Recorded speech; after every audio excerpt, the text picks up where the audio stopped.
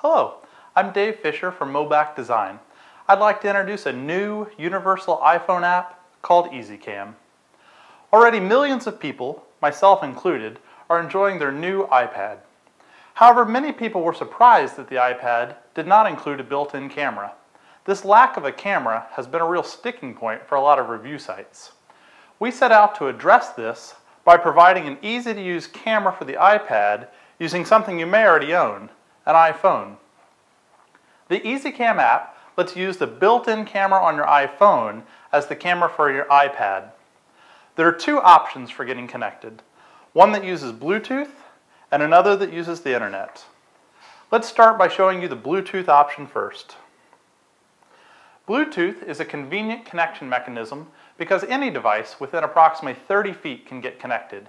You simply select a device from the list to request a connection, and then once you accept the connection, the preview images will display not only on the iPhone, but also on the iPad. You can see there are two windows on the iPad, one for preview images and one for capture images. To help me demonstrate the device, I've enlisted the help of my beautiful daughter, McKinley. Hello, McKinley. You can see that the preview images automatically update, and if I rotate the camera device, the preview images automatically change orientation to match. Likewise, if I capture in this orientation, the capture frame rotates to match. In addition to quick capture, you can also choose high resolution. When you request a high resolution image, a photo is taken by the camera and sent over at a much higher definition. It takes a little longer to receive the photo, but the image quality is well worth the wait. Once you have a captured image, using either capture or high resolution, there are many things you can do with it. You can choose to tap on the image to view it full screen, zooming in or out as you like. You can also choose to crop the image to get only the region that you want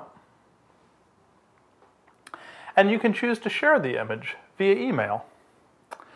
From here, you can choose to type a message to whoever you like, and the photo is automatically attached.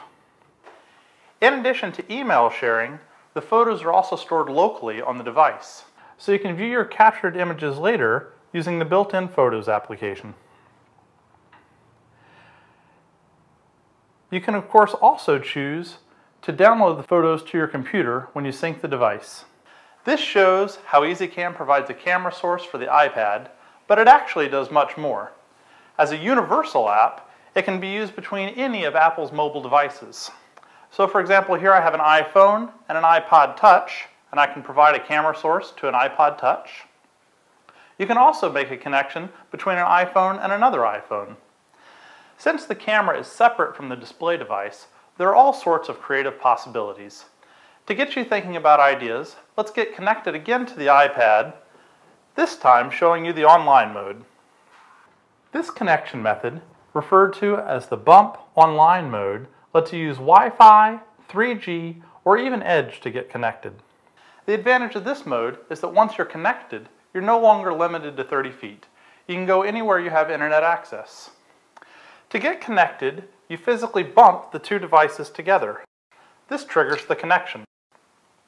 This technology, developed by a company called Bump, makes getting connected quick and easy.